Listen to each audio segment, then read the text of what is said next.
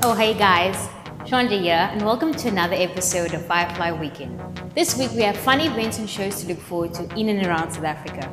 These are the few events you do not want to miss out on. Every Saturday and Sunday, the Route 44 Market offers an experience for young and old. Whether you want to take the grandchildren out for the day, or if you need to accompany the kids while you're busy doing some gift shopping for preparation for Mother's Day. Route 44 is the place to be, where you have everything from craft beer to kids entertainment. The park run can be joined at 8 o'clock on Saturday mornings and selected traders will be open for coffee and breakfast. John Vlismas has poked fun at most of dark horses in our collective mental stable. He has touched racism on its studio, wrapped his tongue around human brain, and even goosed God as they passed each other in the passage. The End is by far the most personal, raw, dark, and deeply funny show. He will take you into the psychology of death, illustrate the lengths we will go to pretend it won't happen, and finally take you to the site of his beloved dad's last breath.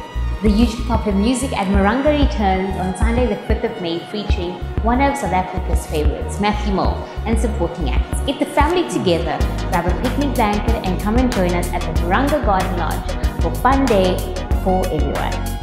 Are you on the lookout for a ride to attend one or more of these amazing events? Why not head on over to the nearest Firefly this weekend? See you guys next week, same time, same place.